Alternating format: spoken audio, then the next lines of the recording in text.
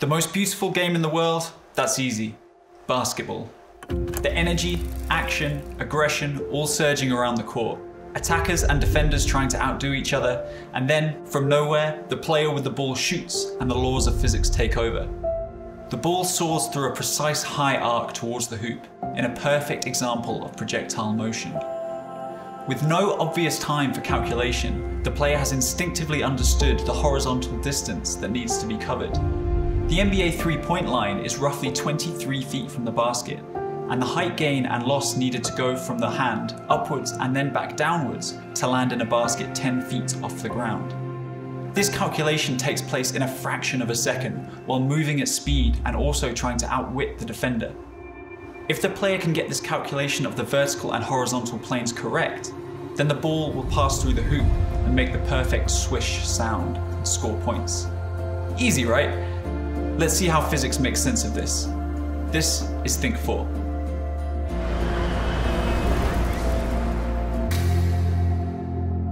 When we consider the horizontal motion of a projectile, we assume there is no air resistance.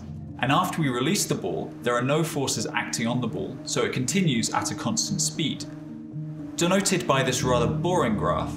And because the graph is so boring, we can use this simple equation v equals d over t to do calculations in the horizontal direction. If we think about a thrown ball vertically, we know that the object must always be accelerating downwards at 9.8 meters per second squared.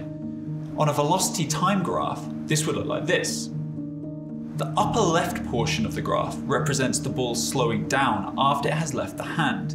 When it reaches the top of its arc, it must have a velocity of zero before it starts to accelerate back towards the ground.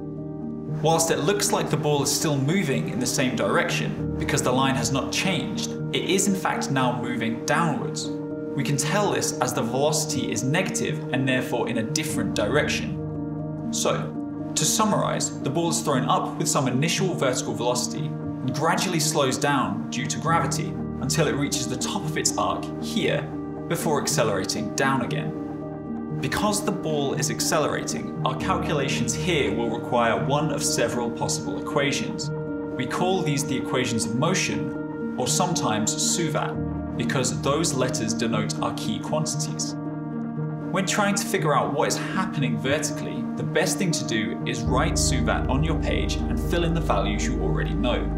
Remember that acceleration will be 9.8 if we only look at the ball on the way up, v will be 0 as it is about to change direction, or u will be 0 if we only think about the second half of the motion. And you will be given values for at least one of s, t, u, or v.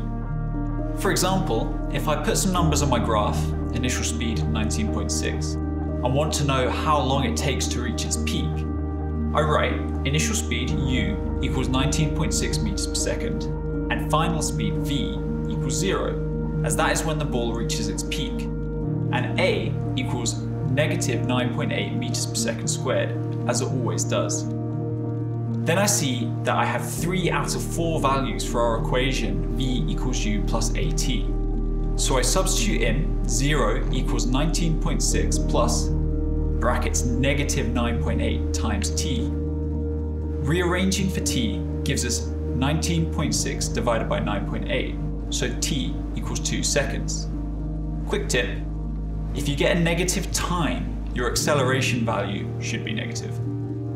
So remember, there is no air resistance, all horizontal motion is at a constant speed, and all vertical motion is at a constant acceleration. And finally, a constant acceleration will speed you up, traveling in one direction, or slow you down in the other. If you can remember these key assumptions and apply them carefully to projectile questions, you will quickly find yourself getting the right answers and scoring well. You might also get better at basketball, but no promises. This was thinkfour. Thanks for watching.